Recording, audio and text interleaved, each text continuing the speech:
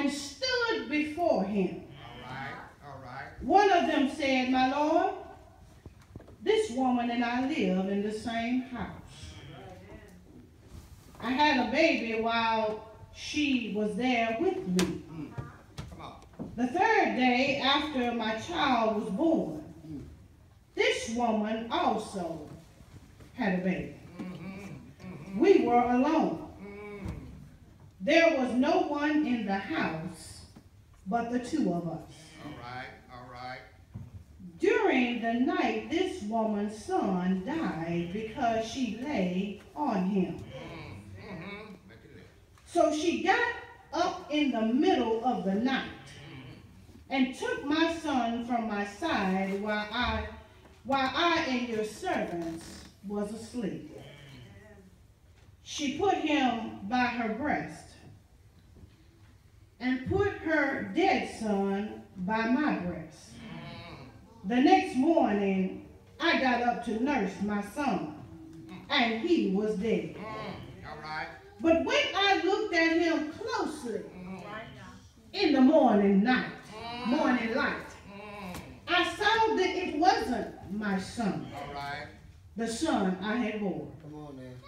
The other woman said, No, the living one is my son. The dead one is yours. But the first one insisted, No, the dead one is yours. The living one is mine.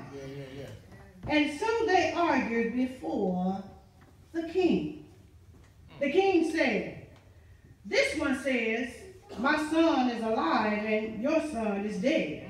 While the other one says, No, your son is dead and mine is alive. I'm going somewhere. Then the then the king said, Bring me a sword. I'm gonna solve this. Mm, mm, mm. So they brought a sword to the king. He then gave an order. Cut the living child in two. And give half to one and half to the other. My Lord, my Lord. The woman whose son was alive Yeah, yeah.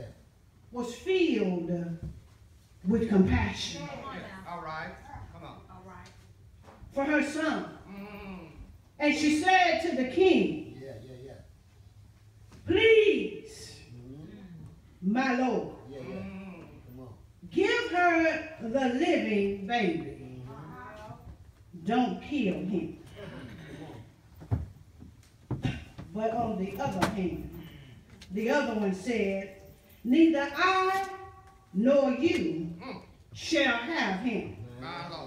Cut him in two.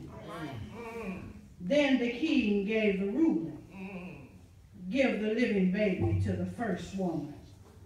Do not kill him, for she is the mother.